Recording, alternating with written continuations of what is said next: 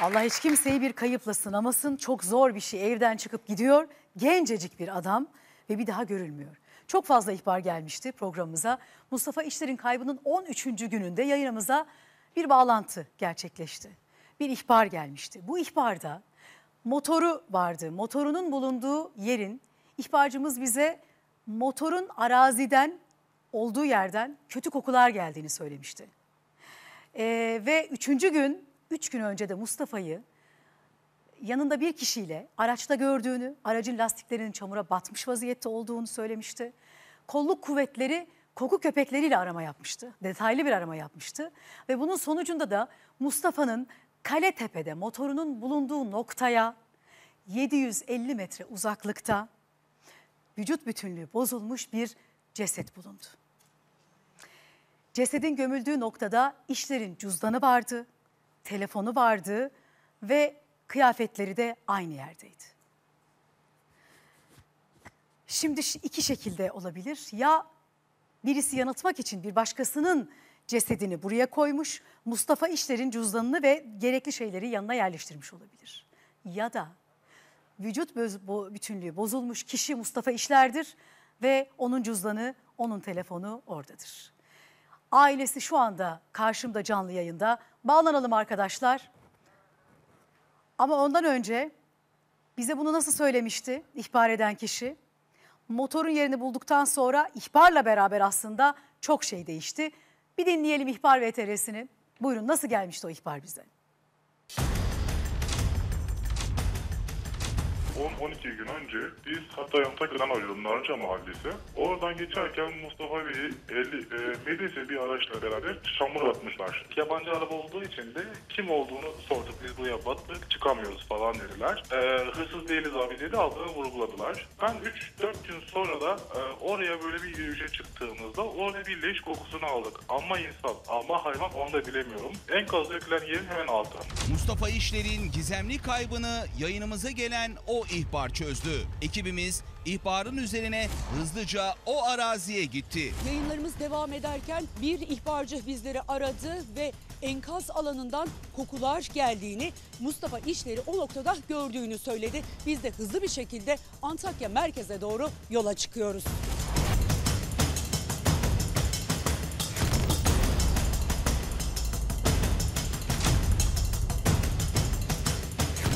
İşler dosyasında önemli detayları bir bir yakaladık.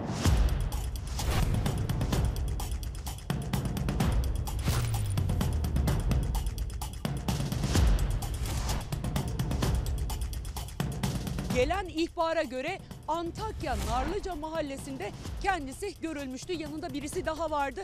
Biz ihbarcımızla görüştük. Bize tam olarak bu noktayı işaret etti. Arkamız ormanlık alan hemen ileride tepede bir enkaz var. İhbarcımızın anlattığına göre enkazdan hırsızlık yapmak üzere sürekli birileri bu noktaya geliyor. Oldukça da ıssız bir nokta burası. İhbarcımız bize bir kamyonetten bahsetti. Bir kamyonetle birlikte iki kişi buradaydı. Gördüğüm kişilerden biri %95 benziyordu.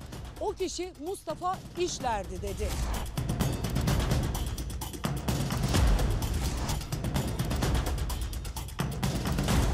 Yayınlarımız ihbar kabul edildi. İhbarcımızın bizlere tarif ettiği nokta hemen sağ tarafımızda toprak yol, enkaz alanına giden yol. Ancak ihbarcımız kötü kokuların geldiği yeri de tarif ediyor. Yolun hemen karşısında bir çeşme bulunuyor.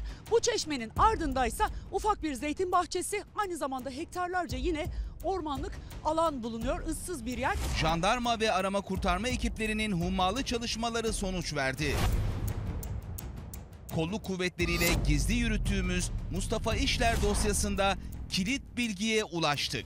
Biz ihbarcımıza sorduk. Bu ayakkabılar hep burada mıydı dedik.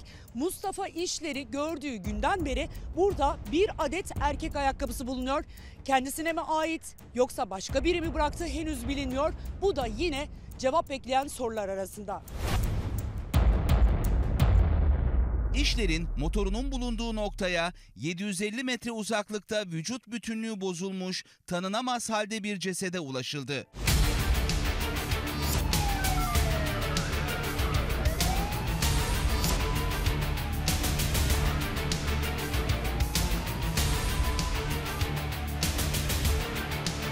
Arazi didik didik aranıyor.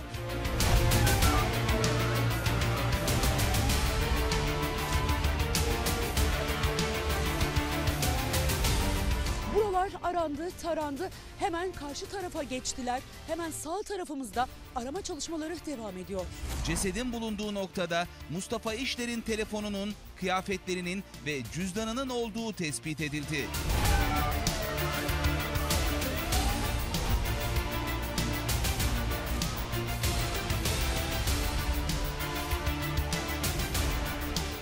Şimdi akıllarda tek soru. Ceset Mustafa İşler'e mi ait? Efendim tekrar merhaba. Ne yazık ki e, bir ceset var ortada. Mustafa işler mi değil mi? Aileden DNA örneği alındı ve şu anda anne Zekiye Hanım, kardeş Zemzem Hanım şu anda canlı bağlantıda karşıdalar. Hoş geldiniz merhabalar. Merhaba. Merhaba. Merhabalar. Şimdi kolluk kuvvetleri bir ceset buluyorlar ve vücut bütünlüğü yok ne yazık ki. Sizin oğlunuzun söylemek bile çok zor ama kardeşinizin cesedi olabilir mi diye sizden DNA örneği aldılar değil mi? Ne düşünüyorsunuz? Evet. Mustafa olabilir mi? Ya Mustafa kimliği bulunduğunu, bulunduğunu gösterdiği bir o, o diye şey yapmıyoruz ama ya uyuşmadı deneyler ama DNA şu anda DNA sonucu geldi mi size? Kolluk kuvvetleri söylediler mi size bir şey?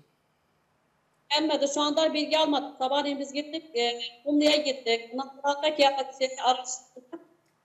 Araştırmaya gittik ama bir sonuç vermedi. Açıklanmış. Salı veya çarşamba günü çıkabilir. Peki Mustafa'nın kimliği orada, telefonu orada, kıyafetleri orada. Evet.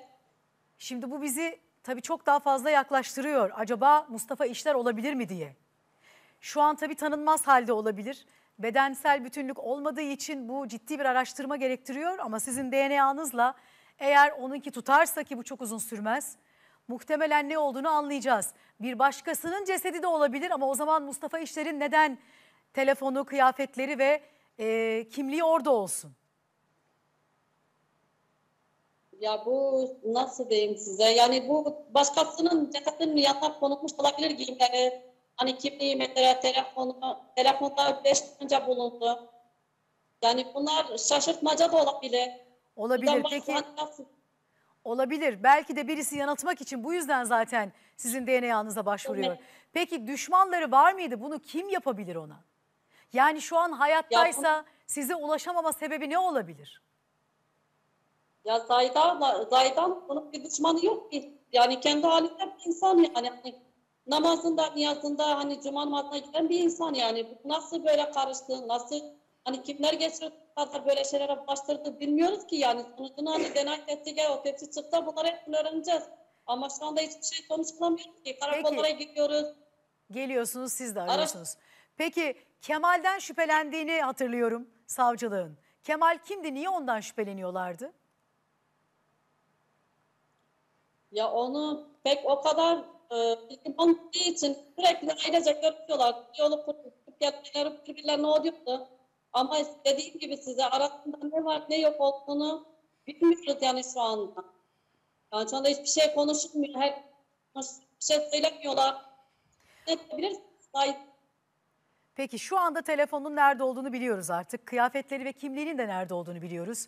Yani Mustafa İşler size ulaşmak istese eğer hayattaysa yani o beden ona ait değilse bir şekilde size ulaşabilir fakat bunu da yapmadığını söylüyorsunuz. Doğru mu? Ya Zaydan katakta bulundu. Bir kafa, bir kafa bulundu. Ama zannetmiyorum yani ona ait olduğunu. Zannetmiyorum çünkü içi oymuş mesela bir kol var. Ya bunlar hani böyle. Peki, Evet. peki e, Zekiye Hanım. Zekiye Hanım sizin Efendim? için çok zor biliyorum ama bulunan kişi Mustafa İşler yani oğlunuz olabilir mi? Sizin DNA'nızı aldılar bugün ve DNA testi Ben gidecek. de inanamıyorum. Sizce o değil mi? Çünkü niye kork- korkulacak bir, bir şey yaptılar yani. Bu, bu insanın e, kuşaktan aşağı ayaklar bak bize gösteriyorlar. Baş yok, el yok. E, Ondan sonra yani hani dersin bir koyunu kesiksin, atıksın yazılara, tarlalara. Böyle bir ceset mi olur? Bunu yapabilecek birisi var mı etrafınızda? Hiç bilmiyoruz. Gitmediğimiz için burada ekipler herkes yani hiç, baktılar ettiler yok. Sonra herkes sustu. Attılar bunu oraya. Bilesin ki ne Mustafa işler. Mustafa işler değil. Avradı tanımadı kendini. Değil diyor. Benim kocam değil diyor. Peki yüzünü gördü mü? Yüzü var mıydı? Yüzü yüzü yok yok. Kafa, Kafa iskele. yok. Eli yok. iskele. Kuşaktan aşağı bas ayaklarını gösteriyor kadına. Tabii bu kadar gün sonrasında artık e, ne yazık ki cesedin de tam olarak kimliği belirlenmesi için bu yüzden DNA yapmışlar. Yani görsel olarak sizin anlayabileceğiniz bir şey yok. Peki kafa ve eller aranmaya devam ediyor mu? Mutlaka aranıyordur orada. Onlar bulundu Zahide Hanım hepsi. Bulundu mu? Peki e, oradan bir kimlik tespiti yapılabildi mi? Eşine gösterdiler mi? Ya hepsini onları göstermediler. Sadece ayak e, betten aşağısı çekip böyle ufak fotoğraftan çektiler. Sadece ona gösterdiler hemen çekti zaten. Olduğu için patronun şey detaylı böyle canlı göstermediler. Fotoğraflarını sizinle paylaştılar. Sizinle mi eşiyle mi? Eşiyle paylaştılar bizimle değil. Peki siz Sadece gelininizle, gelinle konuştunuz ne anlattı size? Gelin e, çok böyle şeydi ya yani çok böyle bir tuhaf çıktı yani. Yani çok böyle şok içindeydi yani. Hani Elbise var kadıncağız mıydı konuşamadı. üstünde? Elbise var mıydı üstünde? Elbise var mıydı? Yok yok elbise Yok. yok. Devlet setin içindeyim. Şimdi e, elbiseler hep Peki cü- cü- şapkası. cüzdanı ve kimliği aynı yere mi gömülmüş bulundu? Cüzdanı ve kimliği de gömülmüş müydü oraya? Cebinde buldular. Cebinde He. Yanında. Yanında Ya bulmuşlar. yanında buldularsa tabii yine Allah'tan ümit kesilmez Asıl ama telefona yani bakıp telefonla son yani aramalara bakmak başka gerekiyor. birisinin kalkıp da e, yani bulunmasını istese zaten o şekilde gömmez. Yani bulunmasını istememiş gibi görünüyor. Tabii her şey olabilir. Ee, biz de yanılabiliriz. Ama yüzde 90 ihtimalle e, yani bu şahsı oraya gömmüşler gibi geliyor bana. Ama tabii iş değişebilir. Bizim bilgimiz de sınırlı yani. Aslında bu yarın öbür gün netleşecek bir durum. Evet. Çünkü DNA testinin dışında bir testle bir şekilde e, bulamıyoruz. Çünkü görsellik bozulmuş. Fizik olarak tanımanın imkansız olduğu bir durum bu. Ama önemli olan DNA Aydan- testi. Söyleyin buyurun. e, kız kardeşim de konuşmak istiyorum. Beraber Tabii ki, tabii ki. Hoş geldiniz. Yani Hoş henüz bulduk, henüz başınız sağ olsun demiyorum çünkü netleşmesi gerekiyor.